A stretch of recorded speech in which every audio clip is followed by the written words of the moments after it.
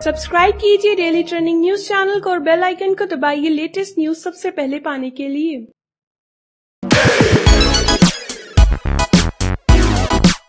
नमस्कार दोस्तों, आज हम आपको बीसीसीआई द्वारा जारी की गई सैलरी लिस्ट दिखाने जा रहे हैं, जिसमें बी कैटेगरी ए कैटेगरी और ए प्लस कैटेगरी वाले खिलाड़ियों को शामिल किया गया है, जिनके बारे में आज हम आपको बताने जा रहे हैं। तो आइए जानते हैं कि कौन से खिलाड़ी को किस कैटेगरी में शामिल किया गया है। ये रहे बी कैटेगरी के खिलाड़ी अगर बात ग्रेड बी के खिलाड़ियों की करें तो इसमें लोकेश राहुल, उमेश यादव, युजवेंद्र चहल, हार्दिक पांड्या, ईशांत शर्मा, कुलदीप यादव और दिनेश कार्तिक शामिल हैं।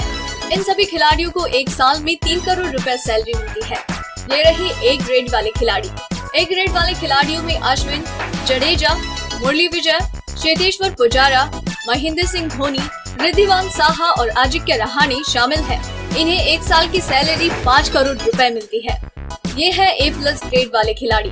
इन खिलाड़ियों की बात करें तो इनमें पाँच खिलाड़ी शामिल हैं, जिनमें विराट कोहली रोहित शर्मा शिखर धवन भुवनेश्वर कुमार और जसप्रीत बुमराह शामिल हैं। ए प्लस ग्रेड वाले खिलाड़ियों को एक साल में सात करोड़ रुपए सैलरी बीसीसीआई के द्वारा दी जाती है। आपकी जानकारी के लिए बता दें कि ए प्लस वाले खिलाड़ियों में महेंद्र सिंह धोनी को शामिल नहीं किया गया है। अगर आपको हमारी ये स्टोरी पसंद आई तो इसे लाइक करें और अपने व्यूज़ हमें कमेंट करके ज़रूर बताएँ। डेली ट्रेंडिंग न्यूज़ की रिपोर्ट सब्सक्राइब करें हमारा चैनल ऐसी ही लेटेस्ट और इंटरेस्टिंग न्यूज़ के लिए